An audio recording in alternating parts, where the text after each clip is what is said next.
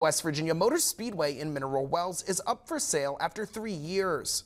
The Speedway was under release for three years, and the owner during that time worked on the grounds to hold races again.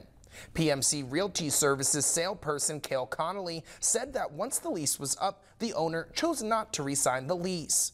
Now that now that it is for sale again, Connolly hopes the right person will come by and continue the work that's personally that's what I want to see for it is is be a successful racetrack and hold big events, bring the biggest names here to race at the the highest speeds and and that's what it's built for, but I'd be happy to see it be successful in whatever it turns into.